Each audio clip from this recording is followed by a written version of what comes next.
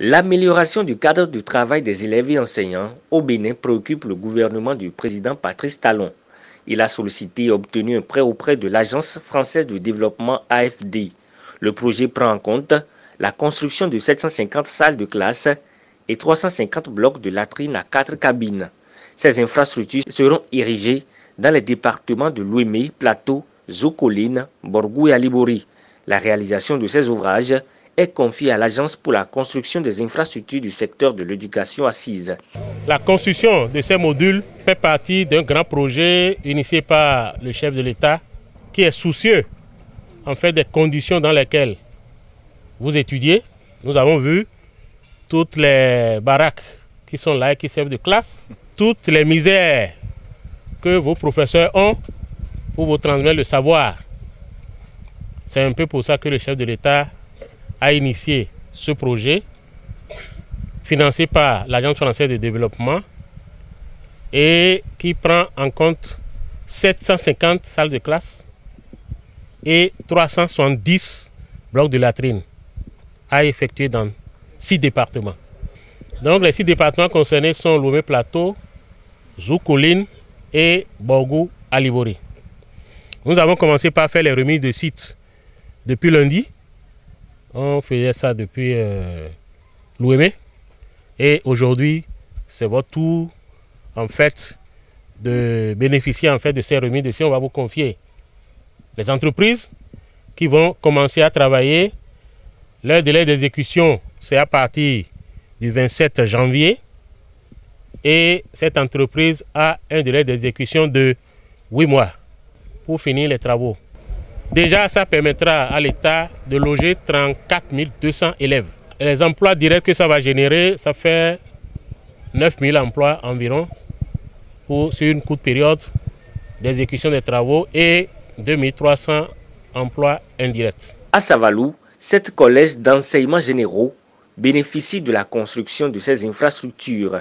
Les bénéficiaires directs et les populations de la commune ont remercié le président Patrice Talon pour cette œuvre salvatrice au profit du secteur de l'éducation qui, selon les acteurs, manque cruellement de cadres de formation adéquats. Lorsque la nouvelle euh, de construction de, salles de classe était tombée, c'était venu pour moi comme un rêve. Parce que nos souffrances pendant 8 ans, 9 ans étaient telles qu'on ne pouvait pas parler de ça aujourd'hui. Nous devons remercier infiniment le gouvernement du président Talon pour tout ce qu'il fait pour le développement du pays. Je remercie aussi le, roi député qui, pendant longtemps, nous a aidés à quand même réaliser ce que nous avons aujourd'hui.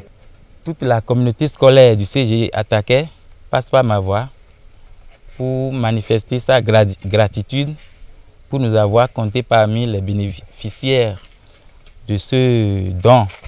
Nous profitons pour remercier le chef de l'État qui, à travers ce joyau, a pris en compte la communauté scolaire de l'arrondissement d'Attaquet.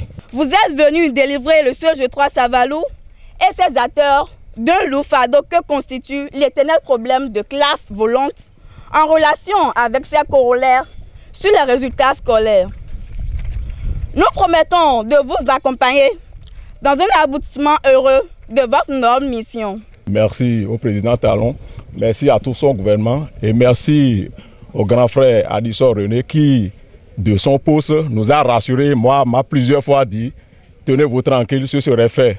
Les acteurs politiques saluent les efforts du gouvernement qui s'évertue à améliorer les conditions de travail des apprenants et enseignants.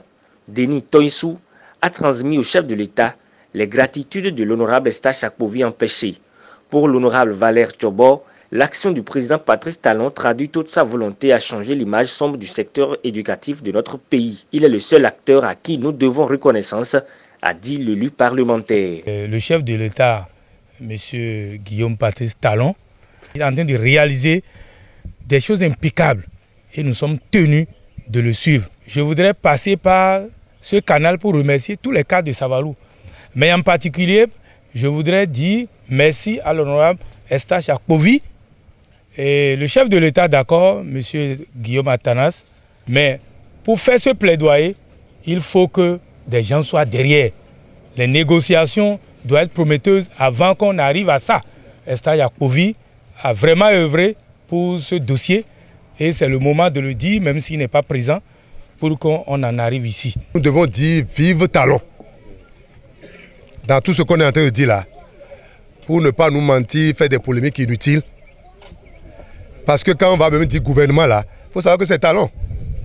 C'est lui le chef. Assez les polémiques. Parce que ce qu'on fait là, ce n'est ni SH Apovi, ce n'est ni Tchobo, mais c'est le président Talon, c'est son gouvernement.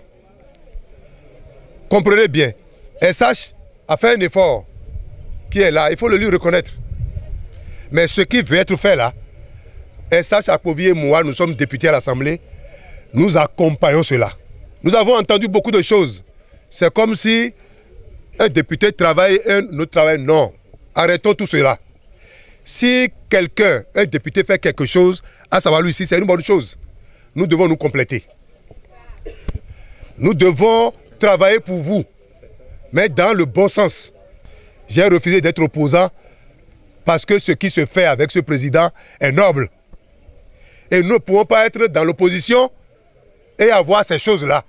Les entreprises en charge de l'exécution des travaux ont pris l'engagement de livrer dans le délai des ouvrages de qualité conformément aux normes contractuelles. Au nom de la directrice générale occupée, je prends l'engagement que nous allons vous réaliser des travaux de qualité selon les règles de l'art et dans un délai de 8 mois au plus tard. La réalisation de ces infrastructures offre aux élèves et enseignants un cadre adéquat de formation et relègue au passé ces constructions de fortune qui exposent les acteurs du système éducatif à toutes les intempéries climatiques.